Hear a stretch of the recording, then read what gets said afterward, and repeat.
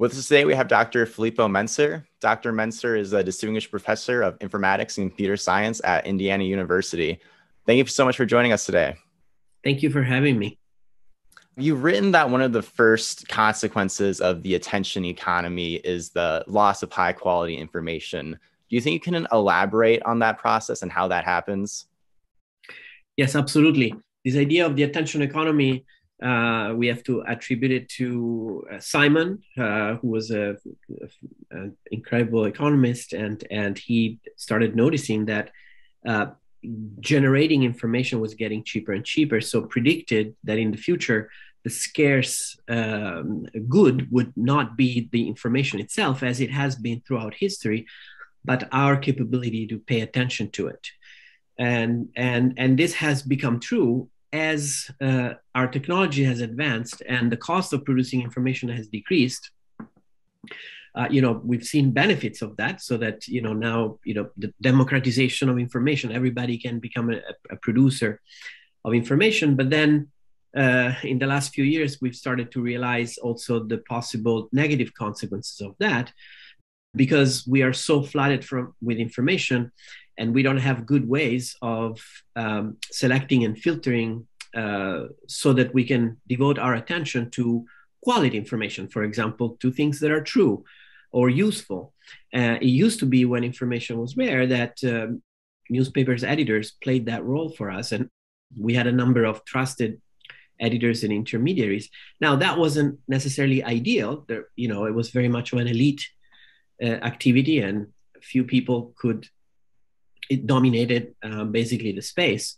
But uh, and and so uh, but now uh, you know with the, with the good of the democratization we now also see that um, uh, it, it, most people um, cannot tell. And so especially people who access news through social media um, you know what they see instead of being determined by you know professional editors uh, who devote their life to figuring out what is true and what is accurate and what is important.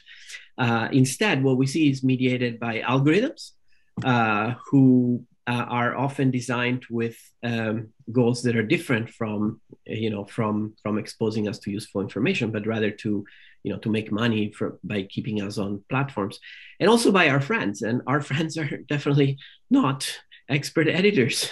we are not expert editors. We are often driven by all kinds of, uh, you know, cognitive and, and social biases that decide what we pay attention to, like what makes us mad. Well, that's not necessarily what informs us the best. So all of these, um, all of these different factors now uh, account for uh, what we pay attention to, and we've even developed models showing that. Um, in, in an environment in which you can only pay attention to a fraction of what is out there, uh, inevitably um, some things will go viral. This is this is an environment like a social media ecosystem where you have a network of people connected to each other, sharing information. Um, and you know, if if you had infinite attention and you could look at everything and decide what to what to pay attention to, you know, then the world would be good. But in in reality, we can only pay attention to a very very small fraction. And in this case, some things are still going to get a lot of attention and and to to go viral uh, but those things are not necessarily good things. Um, you know even if we have no notion of quality some things at random will will will go viral. And uh, the cor- there's zero correlation with quality. Uh, and then we developed additional models a little bit more slightly more realistic where we can imagine that people actually can tell uh, can tell the quality of different pieces of information to which they're exposed, and they preferentially share things that are um, higher quality. But even in that situation, when uh, when when we have information overload, where the when the amount of information that we can pay attention to is a small fraction of what's out there, still there is very very low correlation between popularity and quality. In other words, a lot of junk goes viral and this is just inevitable consequence of the of the attention economy of the fact that it is so cheap to produce information and we can't possibly process all of it. So inevitably we are going to ex- be exposed to a lot of junk. And that that's how the attention economy creates a vulnerability for us.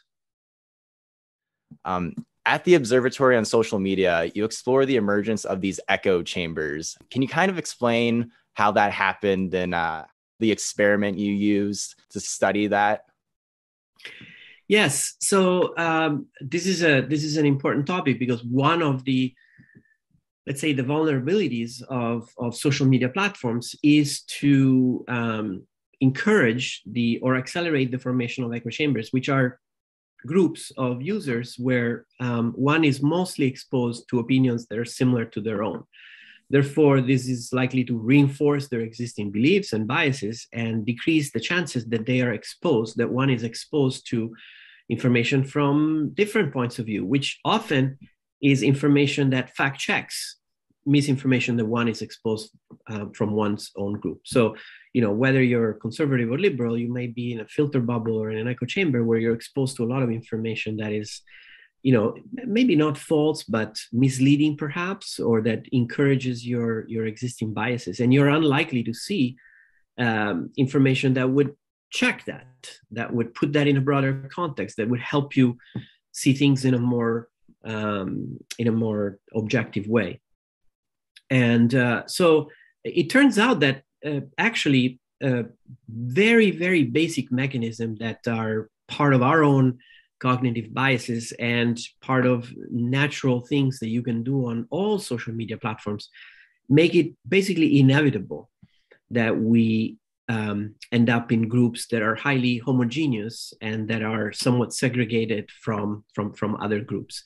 Uh, so we've developed a model that demonstrates this. Um, so again this is a model where we simulate a, a social network an online social network where people share information with each other and you can imagine that the information that you share is correlated with with your own you know with your own beliefs. Um, and and that you have some chance of being influenced by what you observe by what is shared by your friends as long as that is close enough to your own opinions.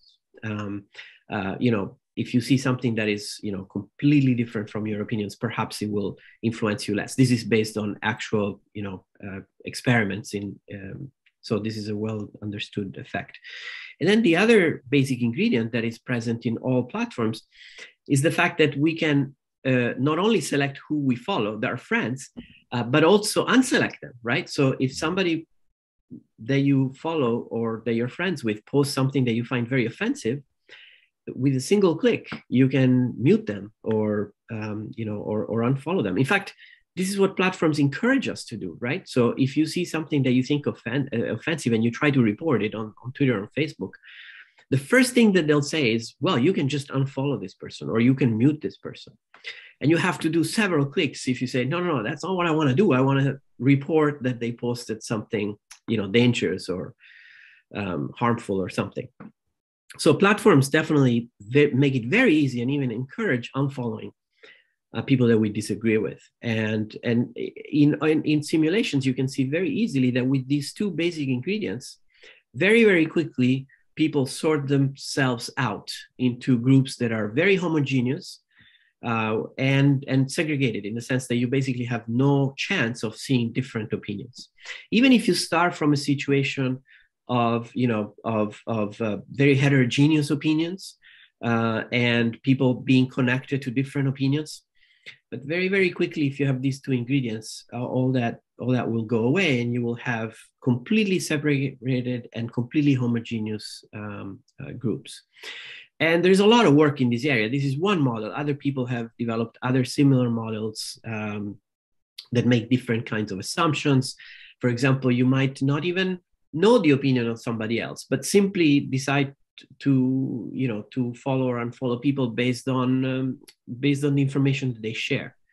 Um, and uh, and so it, it's it's pretty inevitable. And, and, in fact empirically when we actually go and get data from uh, plat- social media platforms and we measure um, you know the how the structure of the social network co- is connected to people's opinions we find this very, very, very strong homophily. Homophily is a technical term. It means, uh, you know, like of the same. It means that in a network, you're most likely to be connected to people that are similar to you. Um, so that's, uh, you know, the clear uh, mark of these um, of this community structure where where each community is very homogeneous and we find this very very strongly on multiple platforms and and um, you know uh, it has been true as we have measured this over the last uh, 10 years or so it's been invariant so uh, there, uh, so that's that's that's a natural consequence of the fact that we access information uh, through social media kind of going on the lines of echo chambers, we talk a lot about social diffusion. I was just curious how social diffusion impacts the information that people see on their social media platforms.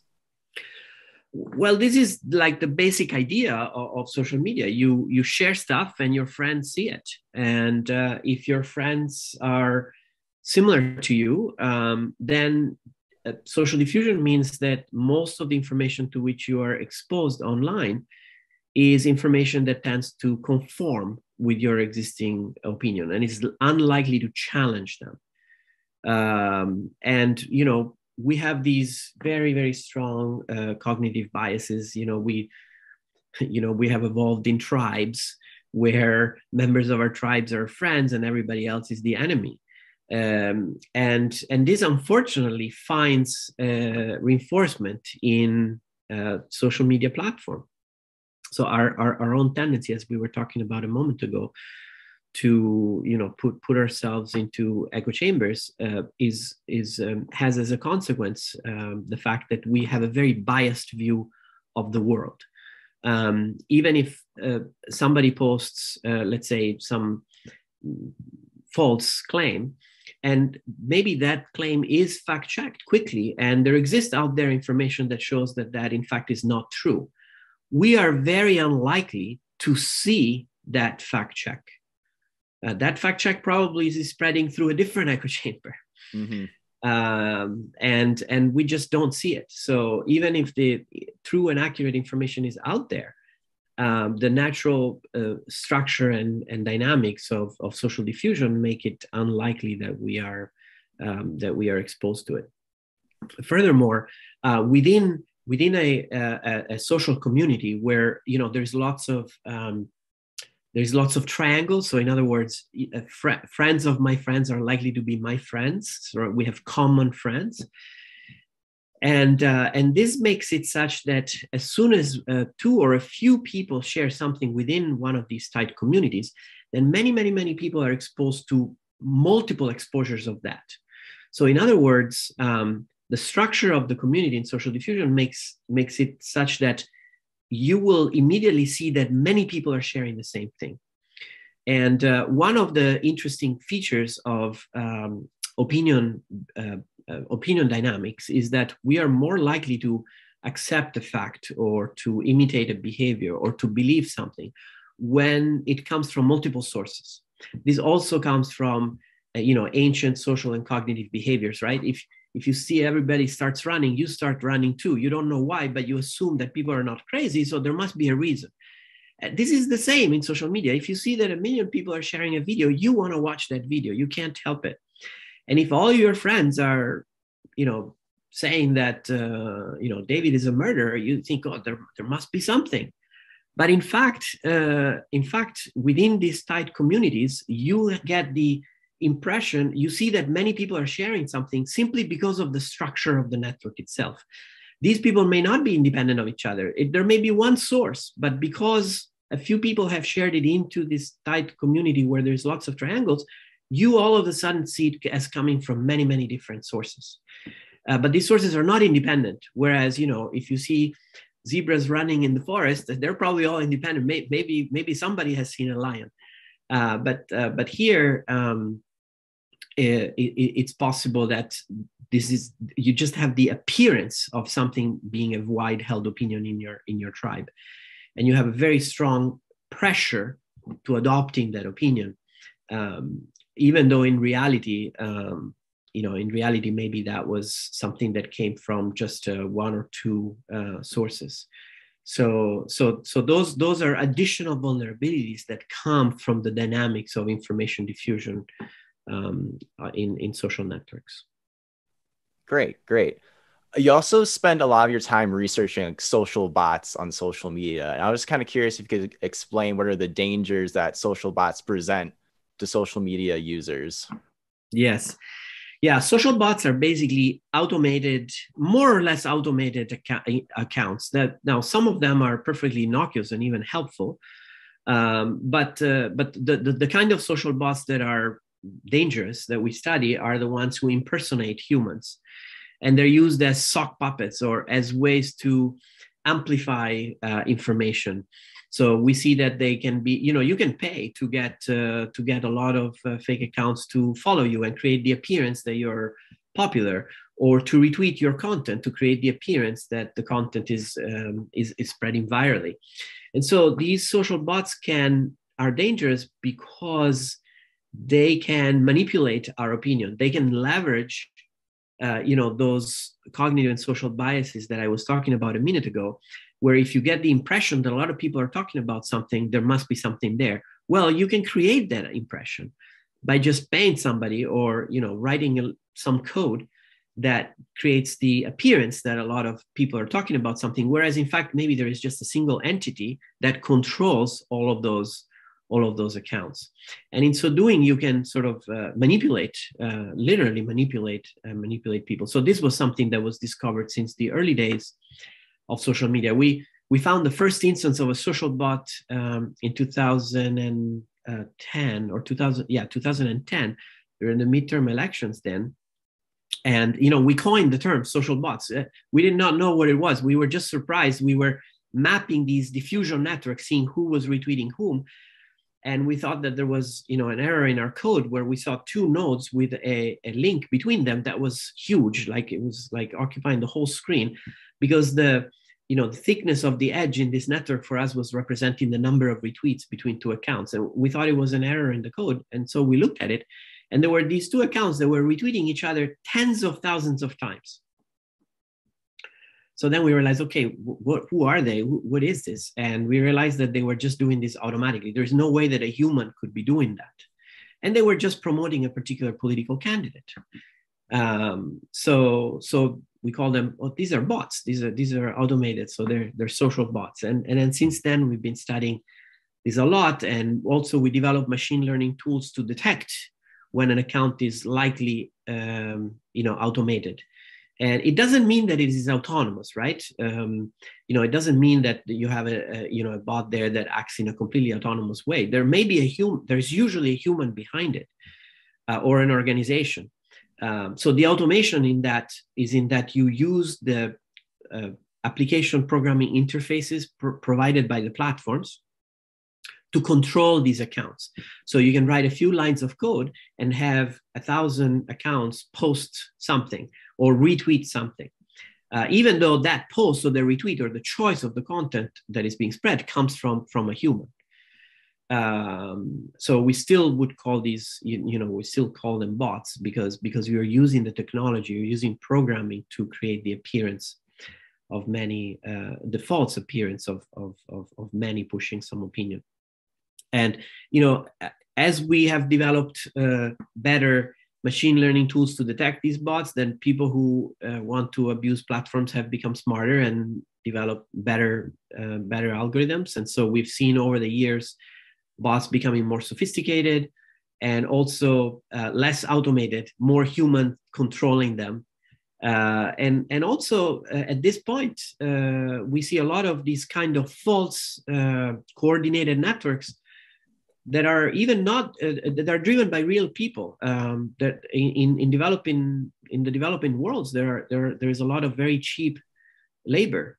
So that you can actually hire uh, you know an army of people and pay them very little amounts of money uh, to post on your behalf or to create the impression uh, that something is happening. Or you can hack account use hacked accounts or or you can get uh, supporters to post on your behalf. That we've seen apps uh, uh, by political action committees uh, that ask their supporters to give them their uh, you know username and password their credentials for for social media systems and then and then these apps post automatically on behalf of of these people Um, so basically, these people become social bots. Uh, they, you know, they give permission to an entity to control an army uh, of accounts. So these are all things that, in our opinion, create very strong vulnerability because they, you know, they have the potential to manipulate uh, what we see.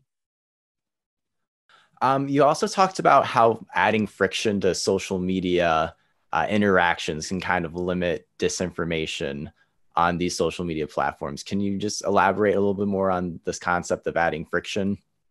Yeah, the concept of friction comes directly from the idea of the attention economy at information overload. We, we talked about it earlier, right? The, the idea that just because we we can't handle all the information that we see and we therefore are more likely to share things that are low quality, e- even if we would rather not. Um, and that contributes to o- lowering the overall quality of information in the system. So the natural, you know, the natural countermeasure to that would be to decrease, you know, the amount of information to which we are exposed, uh, so that so that we would have more time to digest it. Uh, and so friction is is is a way to do that right uh, over the years you could think of you know from every technology that comes in you could go back to the press. But even if we just talk more recently about the last 10 years you know with with the web or, or 20 years with the web and then blogs and then wikis and then uh, you know social tagging and then and then and then eventually social micro micro blogs the, the the social media platforms that we have today. Every step has made it easier to post something to share some information you know from having to create an entire website to just having to create an account to just typing in something close to text with a little bit of markup to just type in text to just typing on your phone and then eventually you're just clicking one tap on a screen. And right now we can share something with hundreds of people or more. So every step has decreased this friction has decreased the cost of producing information.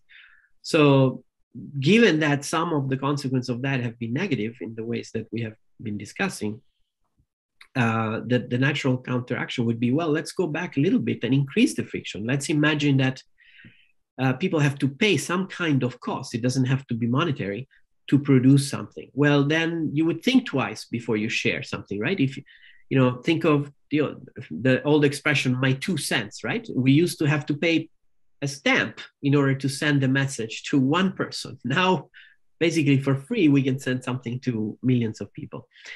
So let's reintroduce the idea of, of a stamp. It could be it could be something that says before you share are you really sure you want to share this or maybe solve this little puzzle or you know pay one cent uh, or or um, or simply look you, you've already posted 10 things today w- wait until tomorrow.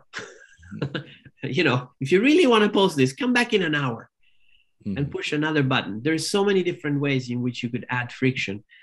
And uh, and and the, the the theory here is that doing that would just decrease the overall volume and give people a way to um, you know to think more um, meaningfully about what they want to what they what they really want to share how many times you you know you go back to something that you shared an hour later and you realize oh i maybe i shouldn't have shared that right so mm-hmm. sometimes just thinking about it for a minute or an hour might let you think more carefully about what are the possible consequences of of uh, of producing or resharing or amplifying a piece of misinformation or piece of information it might also create time for platforms to fact check so that uh, you know maybe an hour later you might have a label that says oh by the way this has been fact checked by this fact checker and it turns out that this information is disputed.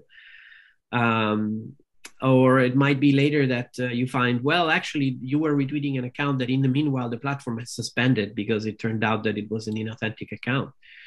So uh, so these are all different ways in which we believe that adding friction might might help. Now the problem, of course, is that it might affect the bottom line of platforms. Um, and so the question is whether self regulation is possible here or if we need some kind of government uh, regulation to uh, create incentives for platforms to do this. Well, looks like we're out of time for today. Once again, we've been talking to Dr. Filippo Menczer, is a distinguished professor of informatics and computer science at Indiana University and also the director of the Observatory of Social Media. Thank you for joining us today. Thank you very much.